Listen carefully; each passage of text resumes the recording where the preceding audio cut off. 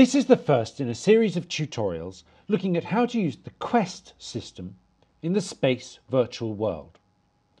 To follow these tutorials, you need to have installed Unity, imported the Space Editor pack, and registered as a Space creator. In this first tutorial, I'll be showing how to get a basic Quest uploaded and I'll give an overview of the different things you can use the Quest system for. Then in later tutorials, I'll be building a simple game level from scratch, which you can also download as a Unity package and import into your own project. The Quest system allows you to create narrative-based interactions inside your regions. These might be games, they could be tutorials, or they could be education or training modules or tours. Quest narratives are built using different types of steps, which link to each other in this node editor built into your project.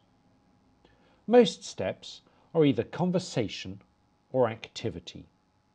Conversation steps are cutscenes, passive steps with exposition.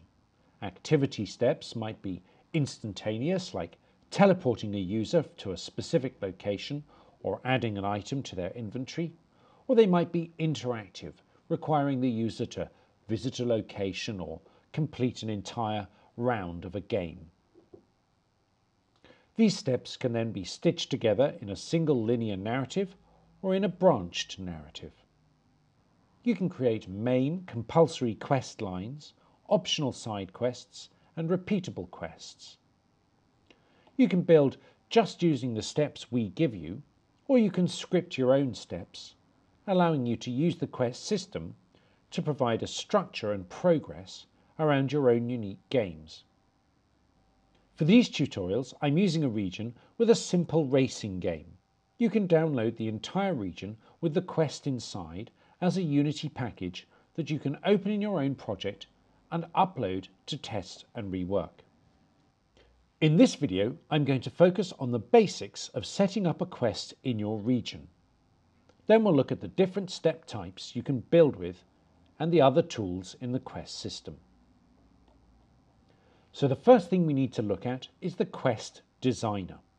I'm going to create an empty game object in my scene by right-clicking in the hierarchy and I'm going to add the Quest Designer component by searching for Quest Designer in the inspector. I'm going to click Reserve to secure an ID for the quest. I tend to keep all the assets used in my quest as child objects to the quest designer. That makes it easy to drag the entire quest into the project folder and then I can drag it into a new scene or even share it as a Unity package with other creators as a starting template for building complex stories. But if you do move your quest from one region to another, please clear out the ID and reserve a new one. The ID is tied to the region. So if you have downloaded this region as a Unity package so that you can pull this quest apart and play with it yourself, you'll need to add an ID before you can upload it to your own account. Now I add a name and description to the quest this will be seen by users when they launch the Quest. The Quest Type drop-down box allows you to choose different types of quest. Main quest means that each user can only play the quest once. Daily quest means they can play the quest once a day. Activity quest means they can play it as many times as they want to. The quest dependency function allows you to chain quests to each other and allows you to close down branched narratives. If I set the size to 1, I can add the ID for a single other quest. This means that I have to have completed that quest to start this one.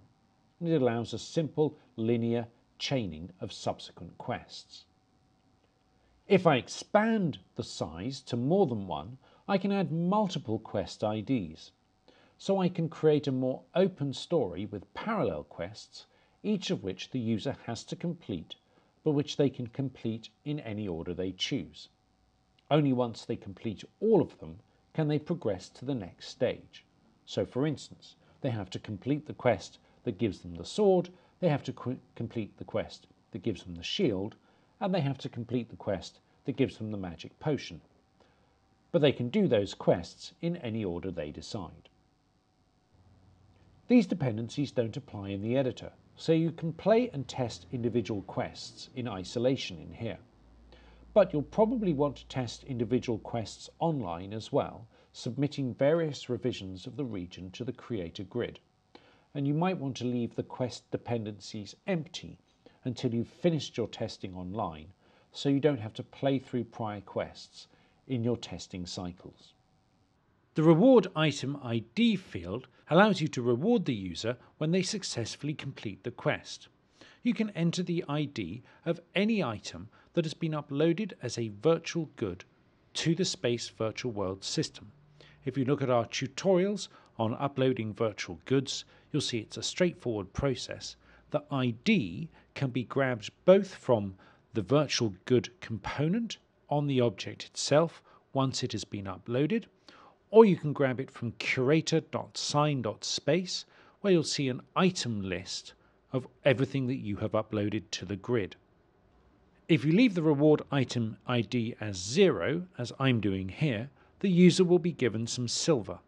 If you set it to minus 1, the user will get no reward at all and will not see a celebration message at the end of the quest, so that's ideal if we're using the quest system for a tutorial or another narrative process that doesn't actually end in a reward.